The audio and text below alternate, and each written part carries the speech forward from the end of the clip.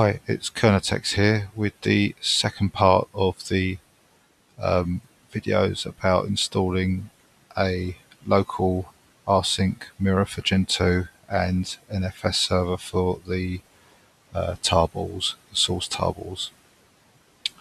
So what we need to do with the NFS server is we first need to check the kernel settings because um, by default, the default kernel settings we used when we set up these Gentoo machines, uh, it, it has the client capability for NFS, but not for the server part of it. So what we need to do first is to, on the server, is to become the root, and we'll load up the menu, menu config for the kernel. So cd user source Linux and then make menu config. Then near the bottom, uh, we've got file systems on the first menu. And then right at the very bottom, we've got one called network file systems. And you can see the NFS client support has already been set for various versions, including version 4, the latest. So we want server support, which is this option here, NFS server support. So put a Y there to put the star in. Now you can select version 3, but if you select version 4, you'll find that version 3 is automatically selected anyway. And that's all we need to do. So we'll exit that, save the configuration, and then we do make to rebuild the kernel. And it'll only be a quick build because there's only a small part of the kernel that's been changed. It doesn't affect anything else so it'll only take a minute or so.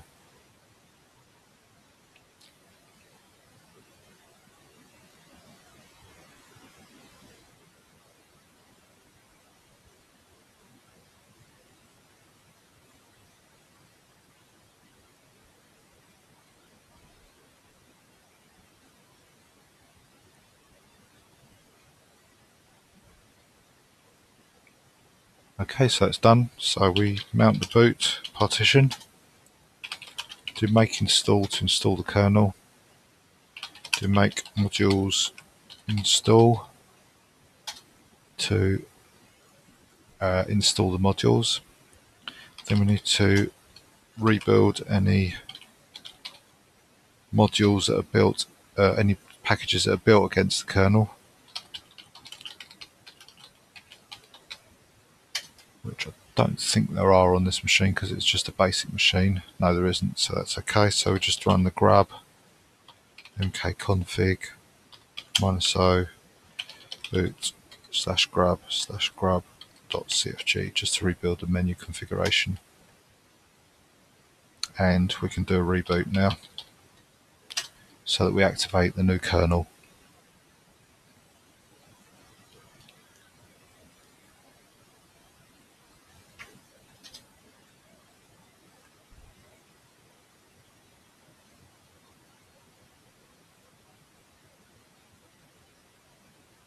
Okay, so we're logging as root again.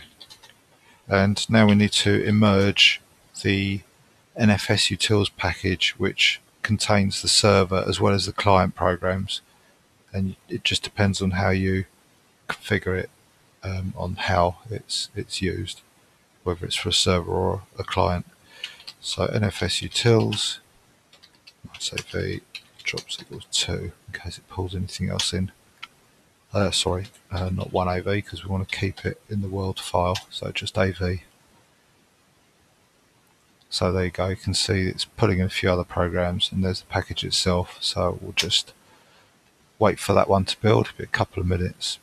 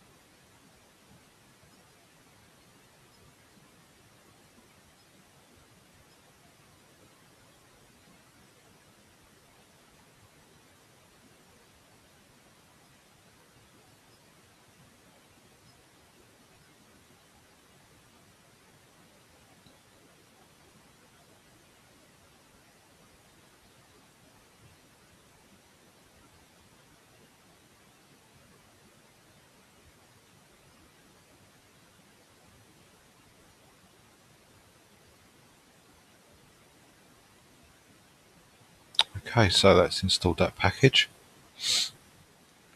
So the next thing we need to do is we need to specify to the NFS server what directory or what part of the file system we want to share to, to the world basically. So to do that we edit a file called etc exports and you can see it's already there and it's just a little comment in there pointing to some hints in the uh, man5 directory, uh, man5 for exports. So all we do here is simply specify the location that we want to share. So it's dist files. Remember that's where all the source files are stored.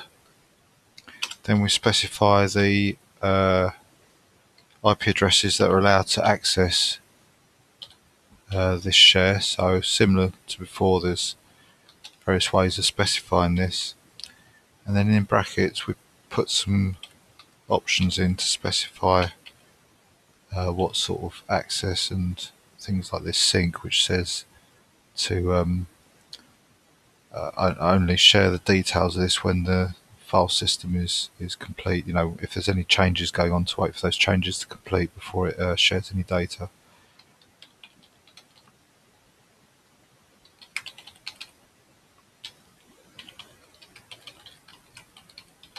These last two are quite technical, so if you want to know about them, the, the details are in the manual, in the man page for exports. It describes what they're for.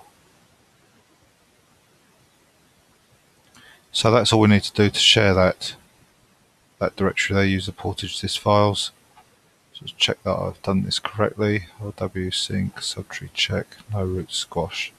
And we'll just save that and now we can start the NFS server with etc init nfs start.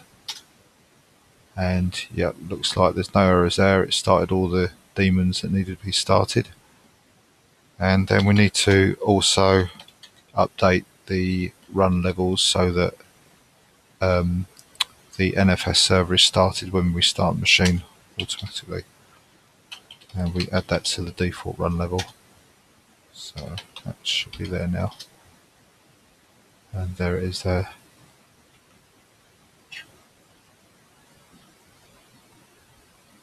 So that should be the server complete.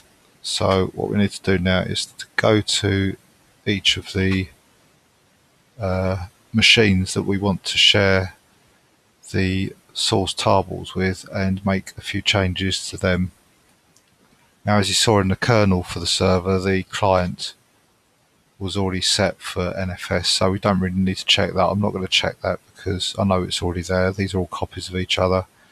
Um, of course, it might be worth you checking yourself just to be doubly sure because nothing worse than doing all the changes and finding out it's not working. And it won't work if the uh, if the kern uh, kernel hasn't been set up properly. So let's just get rid of that and do that again. Get around this problem with VirtualBox. And make this a bit bigger. Right. So so now I'm on one of the like client machines if you like. Become root and what we need to do here again is merge the NFS utils package.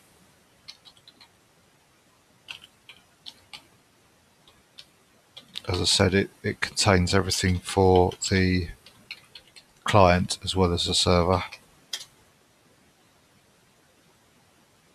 Uh, it just depends on how you configure it and how you use it is, is uh, how it knows what what it's doing so I'll just wait a couple of minutes for that install.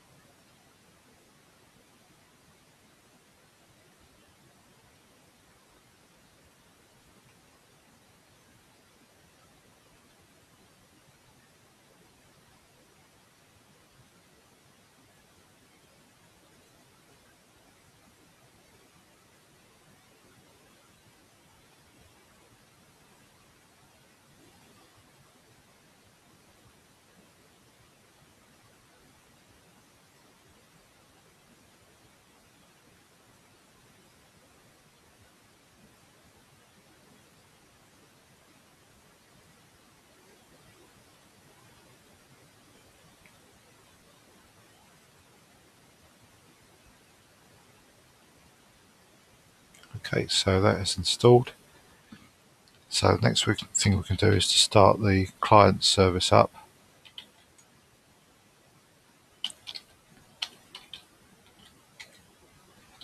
So AETC initd NFS client start.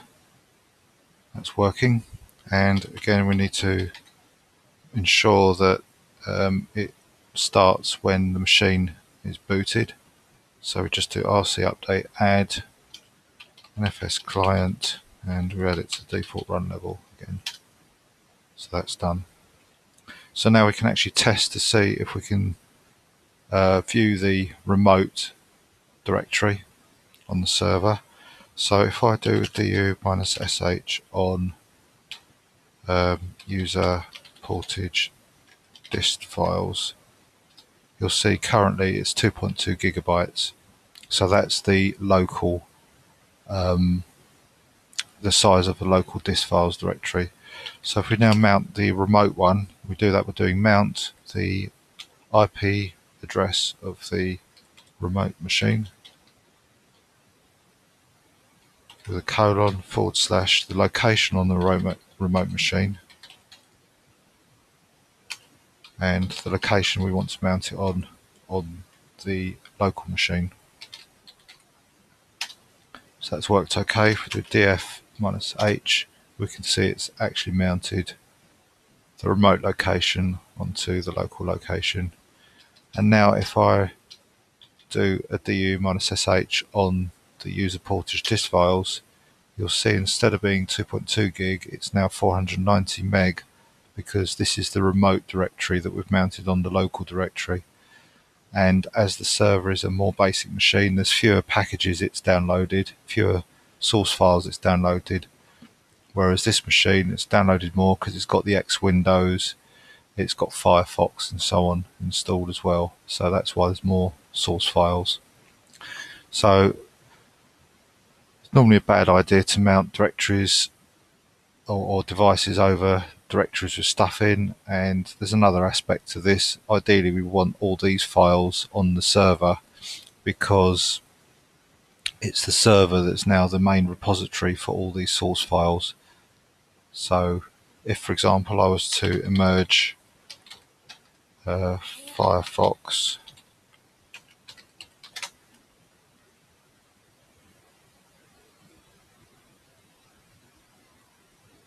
you'll see it's attempting to download the source tarball for Firefox again, which is unnecessary because it already exists on this machine. The only reason it can't see it is because we're hiding that tarball with the directory of the remote machine. So if I mount user portage dist files, retry that emerge Firefox command, you'll see now because it can see the local directory with all these 2.2 gigs of files. Oh okay. Right that has failed because Firefox has been updated. So that's that's why I've been caught out there.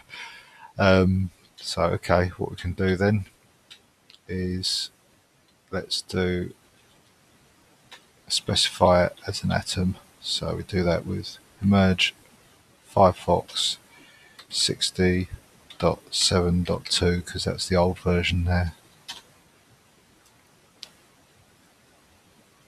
And you'll see it's zero kilobytes. It, it can see this this source code on the local. So if I remount the local one and rerun that command again, you'll see it's trying to download a brand new source file. So you can see that we're hiding the source files that this machine uses. So what we've got to do is we'll unmount that and we can use something like rsync with the options minus AV. A is for archive, it sets a few options, and V will show us what it's doing. And we'll say let's send all of the files which is in user portage dist files and we'll send it to the server so any existing files that match won't be transferred because rsync's intelligent enough to work that out. But any new files or different files will, will be sent across. So that's the command we're using. We're syncing all of the, all of the files in this files directory and we're sending them to the server to put in the same place.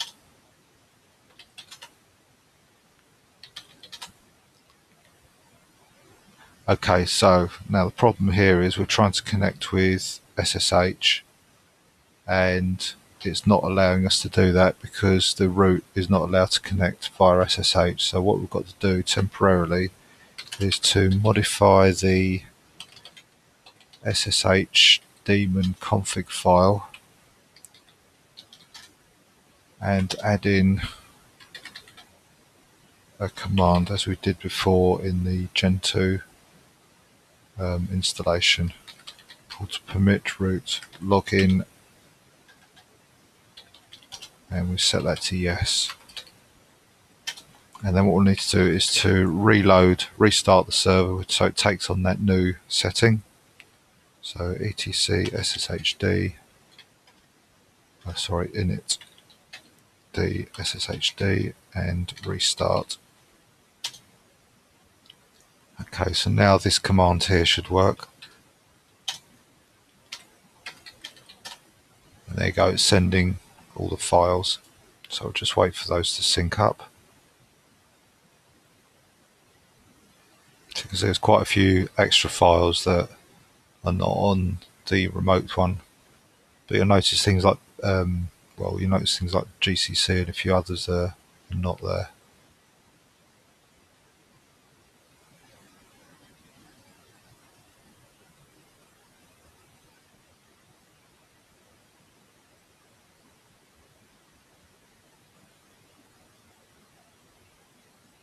Okay, so that's done. So what we can do now is just to verify that they have actually copied across, what we'll do is we'll rebound that directory and now if we do a du du minus sh on the user portage dist files we see that the remote server has now got 2.2 gigs worth of files instead of 400 80 or 90, whatever it was, megabytes. So that, that shows that they've copied across. So let's unmount that again.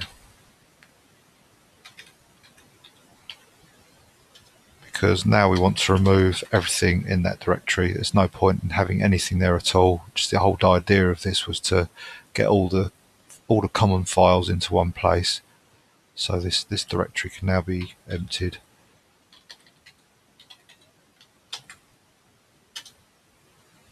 So df minus h and once again let's have a look at dush user portage.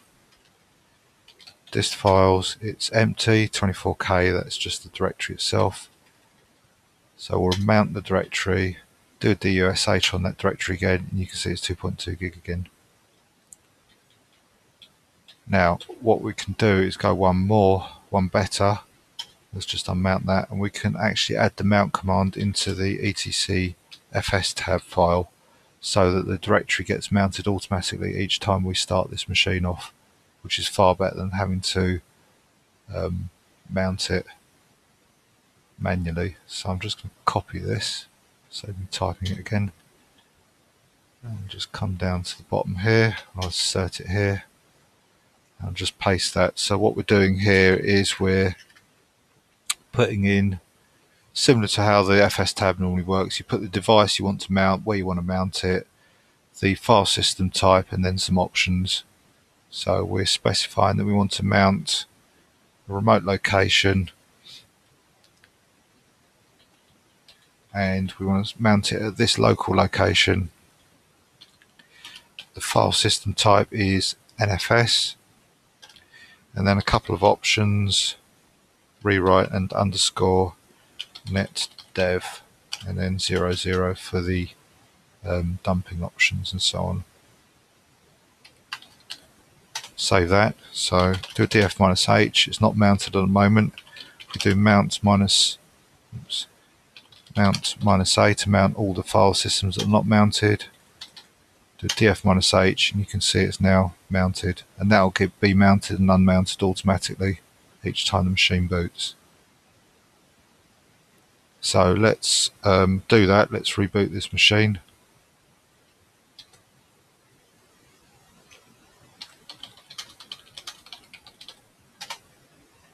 And we'll check that everything's working as expected. So remember, all the while we're doing this, the server is up and running. It's sitting there with cron job waiting to be triggered for the next update tomorrow morning. It's also sitting there running the NFS server, waiting for any requests for that dist files directory to be shared.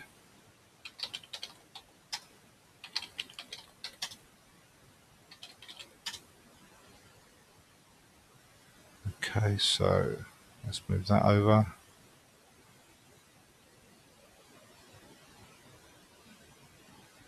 So if I do df minus h, there's the dist files that's being shared. Let's just verify that I can actually see stuff in there.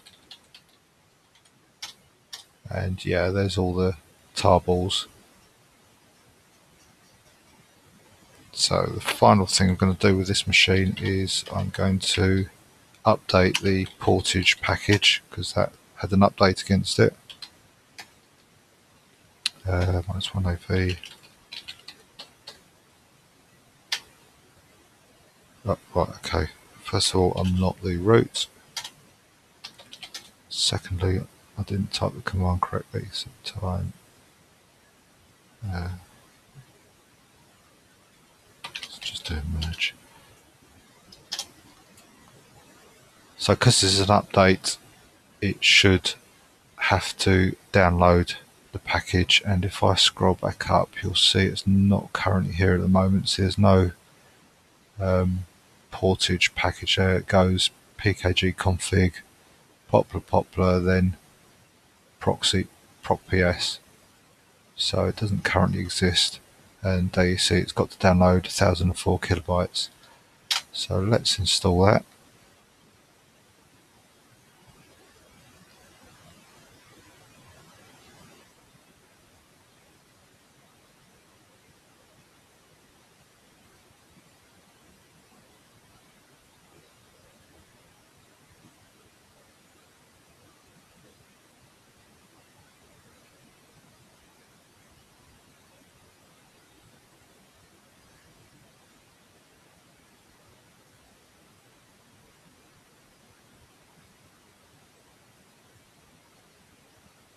That's done.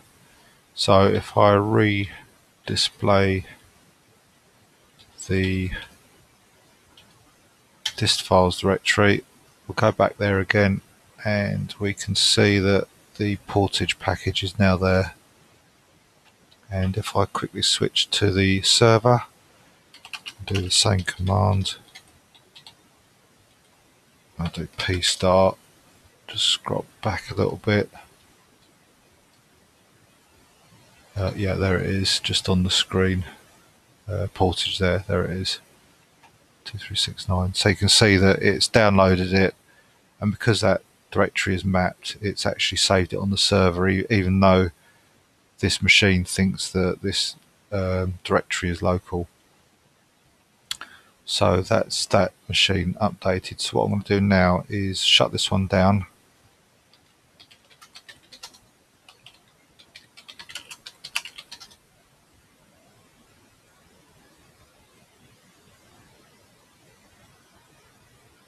and I'm going to boot up the other machine and do the same thing but this time we'll see that when we update portage it won't download it because it will already exist on the server.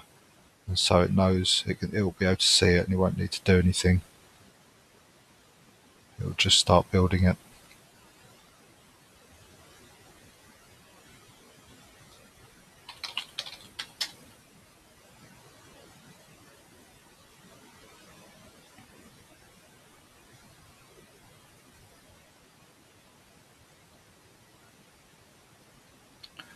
So I've become the root. And we're going to merge NFS utils.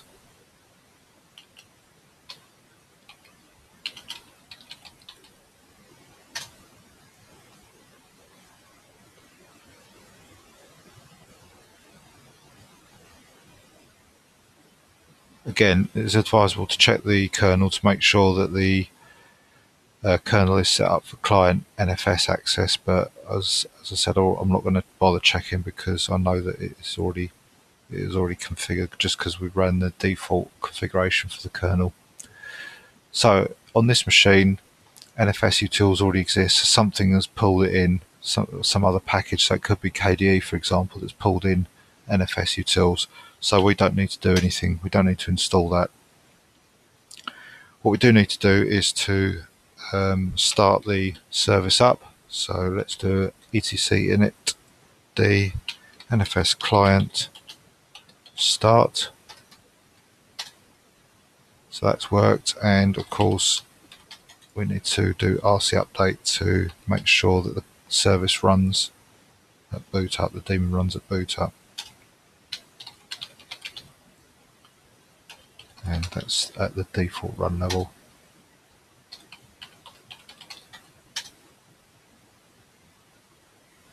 So there it is there.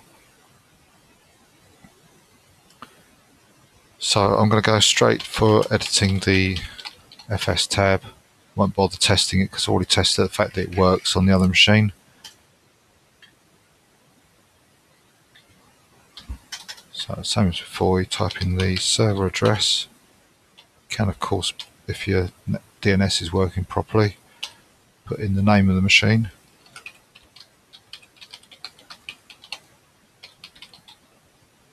So the machine and the location, followed by the local location. It's an NFS file system type. And we've got mount options RW and underscore NFS dev N00. So let's do a mount minus A. Oh, okay, I've done the mistake there. I should have checked. Uh, 121680224.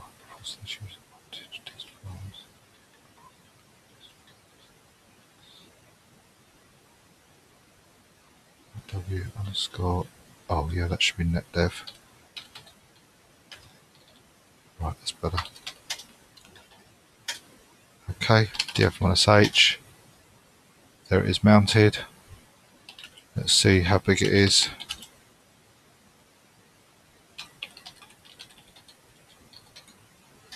So is that there's that two gigabyte size. If I actually unmount it, you'll see on this machine the files are 8.7 gig because there's a lot more that was downloaded. There's Chromium, there's Firefox, there's KDE, there's uh, you know probably some other stuff as well. So what we need to do is that rsync command again to move all these files over to the remote one, to the uh, server to ensure that we retain all the tarballs that we've downloaded for this machine at least. Uh, so user portage dist files star and they're going to the server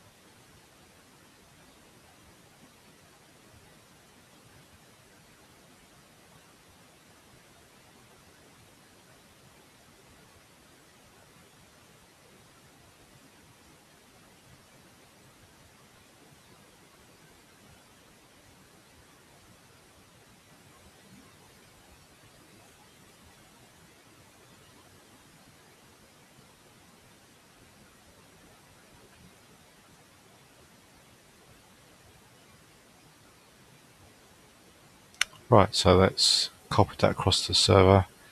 So what I'm doing now is delete the local files.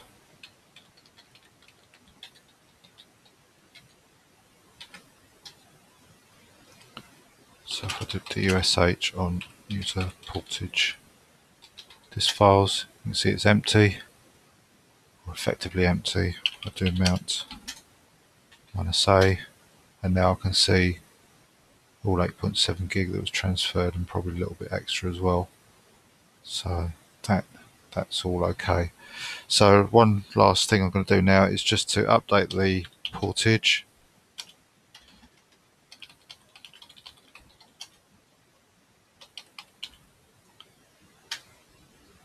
And what you'll see now is that because the um, dist files directory is being shared from the server and we've already downloaded it once and it's been saved to the server, this time the update won't need to download anything because it'll already see it there and there you go. So you can see the savings are already paying off. Admittedly it's only a megabyte or so but it's it's uh, it shows you know with the bigger packages like chromium and so on that you you will be saving a lot of uh, a lot of disk space um, and like I say probably a lot of time as well because the packages will download a lot faster over a local network than they will do over the, over the internet. So uh, that's it really. Thank you very much for watching the videos. And um, if you've got any comments, I'd love to hear them. So thanks once again. Goodbye.